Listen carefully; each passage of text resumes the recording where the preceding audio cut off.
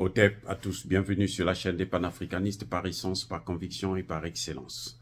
Celle des citoyens qui émitent par nécessité et obligation de combat.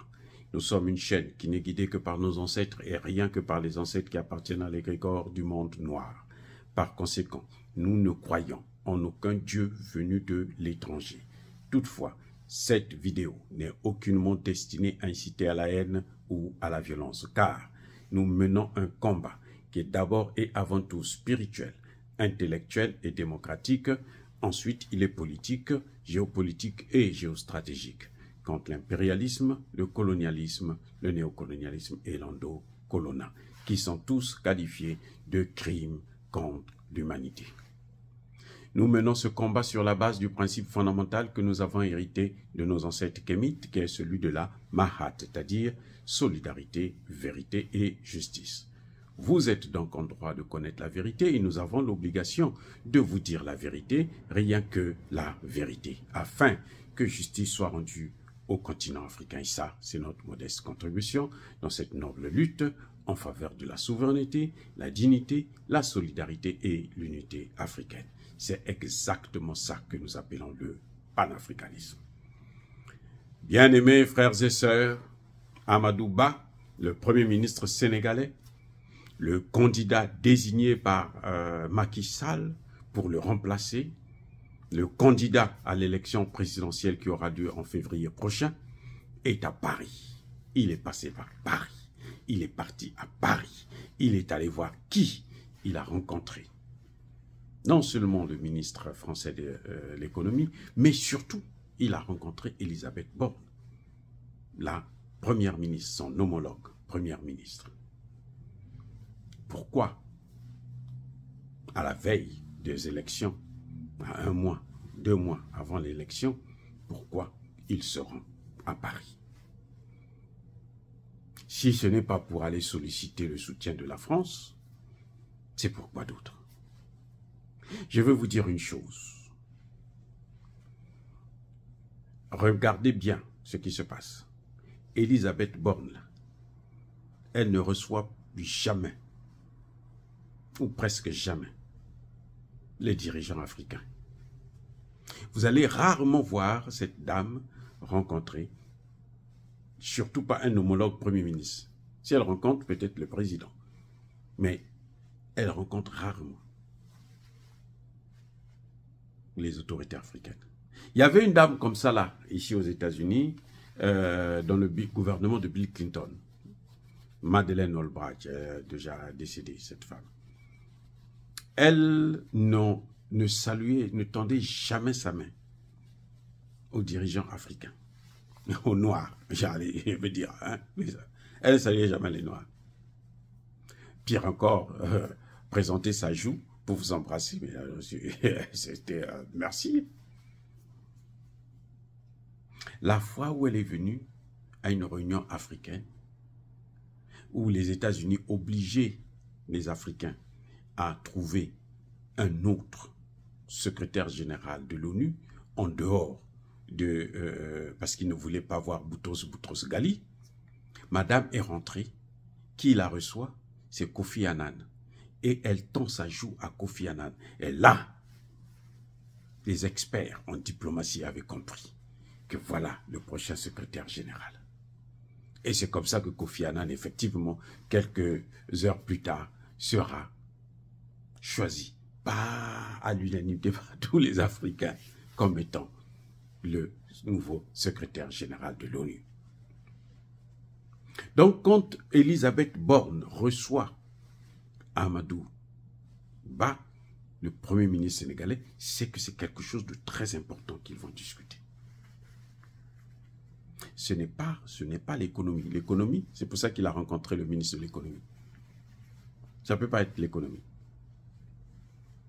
Eh oui, ça ne peut pas être l'économie. Le premier ministre congolais, euh, Makoso, est venu à plusieurs reprises à Paris. Maintenant, je crois qu'il est déçu euh, euh, parce qu'il n'a jamais rencontré son homologue. La première fois, dès qu'il a été élu, il est venu euh, en vitesse avec plusieurs, un parterre de ministres ils ont été reçus que par le ministre de l'économie et des finances. On les voyait dans les couloirs là, assis, les, les, mains entre les cuisses comme des enfants euh, euh, hein, malheureux, à la recherche, je ne sais pas, des bonbons. Donc, combien de fois la première ministre, si elle a reçu là, c'est que c'est pour les garanties. Parce que la France se bat pour ne pas perdre le Sénégal. Elle va, perdre le Sénégal. Hein. Mes frères et sœurs sénégalais, ne vous en faites pas. On va récupérer notre Sénégal. C'est à nous, ça nous appartient et nous allons le gérer. Mais pour l'instant, avec ceux que je vois là, qui sont là à la tête ou qui se battent pour le pouvoir, là, c'est pas la peine. Mais on va reprendre le contrôle. Bref, si Amadouba, le premier ministre sénégalais, a rencontré, il est candidat, il a rencontré cette dame, il doit lui donner à cette dame des garanties. Parce que si Emmanuel Macron l'avait euh, rencontré lui-même directement, on allait dire que non, Emmanuel Macron est en train de la doubler. Mais ce n'est que ça. C'est pour ça qu'il a préféré faire. Et la première ministre doit faire le, rapport à son président.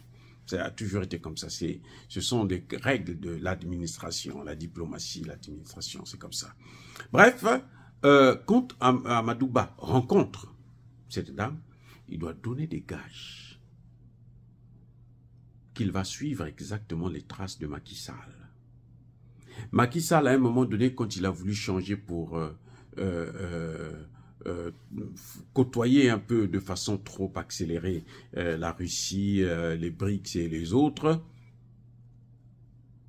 on a suscité, on a poussé Ousmane Sonko à mettre la pression.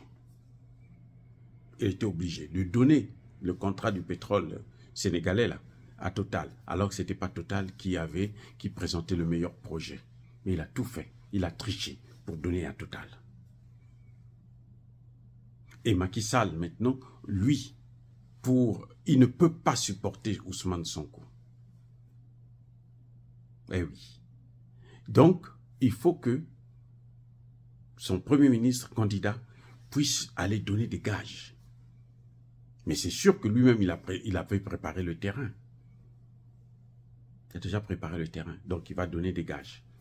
Et ça passe par la première ministre. Pour que la France puisse adouber. Et aussi, pour qu'il puisse le laisser faire avec la candidature de Ousmane Sonko. Afin tout faire pour que Ousmane Sonko ne puisse pas être candidat. Voilà comment ça se passe en politique. France africaine plutôt. J'allais dire, il faut préciser. La politique, parce que la vraie politique, ça ne se passe pas comme ça. Mais la politique de la France-Afrique, c'est ça. Ce que vous voyez là, ça c'est la politique de la France-Afrique. C'est pour ça que je vous ai dit une fois que, mais le Sénégal n'a jamais été un modèle de la démocratie. Malgré les élections, non. Ils s'en fichent des élections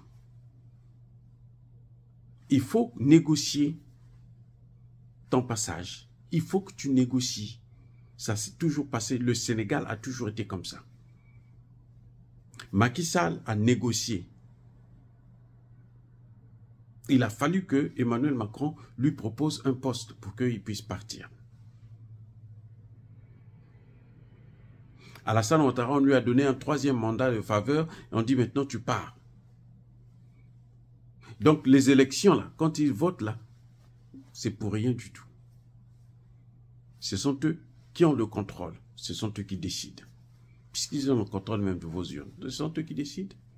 Vous croyez que euh, Alassane Ouattara est fou de prendre 15 euh, milliards de dollars pour donner à des médias français alors que lui-même il a des médias qui souffrent, qui ont besoin d'argent? Mais c'est parce que il est tenu. On le tient là par les couilles. Tu bouges petit, tu bouges là on coince. Tant pis pour toi. Voilà ce qui est en train de se passer.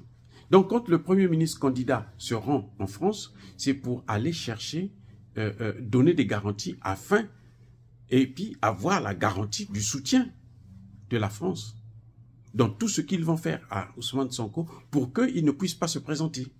Les Français ne vont rien dire, ils ne vont rien faire. Voilà parce qu'il a eu l'autorisation, parce qu'il a donné des garanties. qui ne va pas faire venir la Russie, qui ne va pas euh, donner des contrats à la Chine, qu'il va tout donner à la France, qu'il va brader. Et c'est ça qu'ils attendent. Parce qu'eux, ils ne sont pas capables de faire la compétition puisqu'ils sont pauvres et malheureux. Ils ne sont, pas, euh, sont pas capables d'innover une autre stratégie, une technique pour pouvoir gagner des marchés. Ils ne sont pas capables. Eux, ils fonctionnent seulement dans la tricherie. Comme on a vu avec Total, au même Sénégal, où Total présente le projet le plus médiocre parce qu'ils n'ont pas d'argent. Ceux qui avaient de l'argent, mais on les casse. Macky Sall triche pour donner. J'ai déjà vu ça. Ça s'est passé au Congo-Brazzaville. Entre les Américains et les Français. Mais c'était l'erreur de l'Issouba d'avoir lâché les Américains au profit des Français, notamment de Jacques Chirac qui faisait pression. Jacques Chirac lui-même appelait Pascal Lissouba au téléphone pour dire donne-moi ce contrat de Ngossa là. Donne-moi ça. Moi je veux de ça. Nous, nous sommes tes partenaires anciens. C'est à nous que ça doit revenir. Ce que la France ne peut plus faire aujourd'hui au Mali, au Burkina Faso ni au Niger.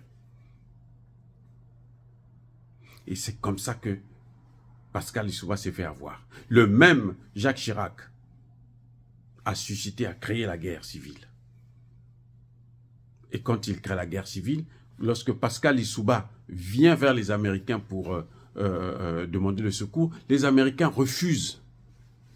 Les Américains disent non. Et d'ailleurs, quand euh, Pascal Lissouba avait fait le coup, avait triché, l'ambassadeur des États-Unis avait dit à Pascal Lissouba, on fait jamais ça à des amis. Ça voulait tout dire. Que tu n'es plus notre ami.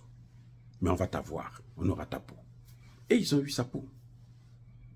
C'est pour ça que Sassou a gagné cette guerre. Parce que les Américains avaient tourné le dos à, Pascal Lissouba. Ils ont dit, débrouille-toi, fais comme tu veux. Moi, ça te regarde c'est les Français que tu avais choisis, tu as triché alors que c'est nous qui avions gagné le marché, tu as préféré donner ça aux Français, maintenant gère ça avec les Français. Voilà ce qui se passe, c'est comme ça, les échanges. Et quand tu fais ça avec les Français, maintenant, bon, ils te laissent faire ce que tu veux. Tu peux mater ta population, personne ne parlera. Ça n'ira nulle part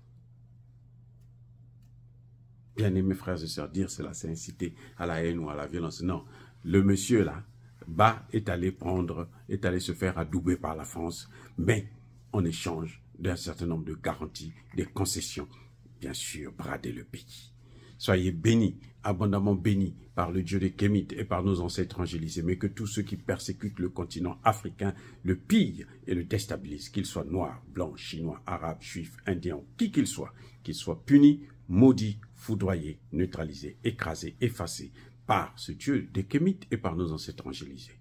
Vive l'Afrique éternelle. J'ai dit et j'assume.